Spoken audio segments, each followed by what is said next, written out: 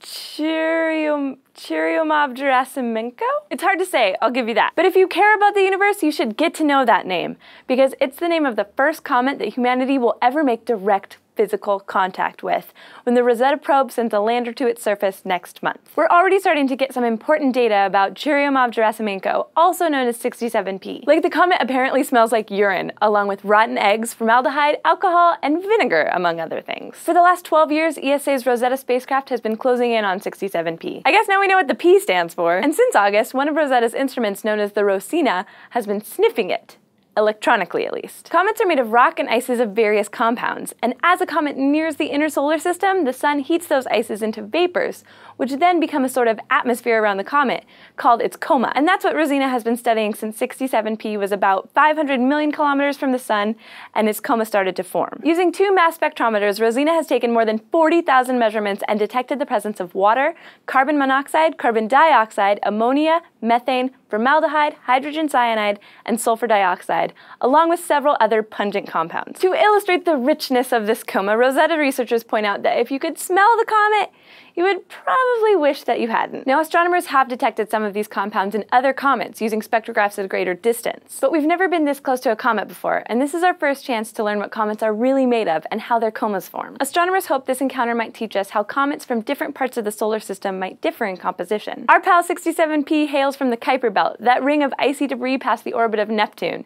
But the comet Siding Spring, which just buzzed Mars last week, originated in the even more distant Oort cloud. So the closer we get to these celestial objects, the closer we'll get to understanding the history of our solar system. And another new frontier was reached last week when Google Vice President Alan Eustace jumped from basically halfway to space. Eustace fell from the height of 42 kilometers above Earth's surface, almost five times the height of Mount Everest, to set the record for the highest ever skydive. If you can call it a skydive, he actually jumped from the upper stratosphere, the second layer of our atmosphere after the troposphere, to land on the Earth's surface near Roswell, New Mexico. His dive broke a two-year-old record set by Felix Baumgartner, but this was a different kind of dive. Eustace teamed up with Paragon Space Development, a company that designs spacesuits and diving suits, to build a self-contained suit for the exploration of the upper atmosphere. And he also got to be the first person to test it. Before making his ascent, Eustace wore a pressurized suit similar to those worn by astronauts aboard the ISS. He wore it for four hours, breathing pure oxygen to flush his blood of dissolved gases like nitrogen to prevent decompression sickness. Then he connected himself to a helium-filled balloon and ascended at 300 meters per minute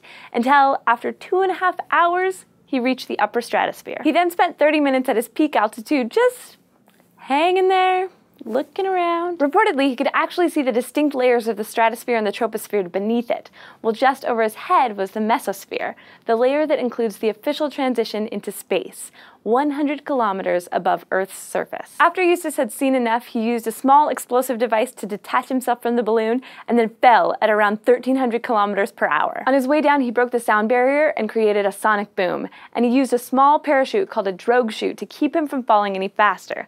The suit also provided thermal protection from air molecules as he fell. Then, about five and a half kilometers above Earth, he deployed a larger parachute that allowed him to land slowly and safely. Paragon plans on developing more of these suits to help people explore and research Earth at extra high altitudes. Gear like this could allow astronauts to exit their vehicles in the upper atmosphere or even ascend all the way to the threshold of space without the help of spacecraft much like Eustace did. There's a whole lot to be learned up there. Thanks for watching SciShow Space News. If you want to keep exploring the universe with us, check out subbable.com slash scishow to learn how you can help support us.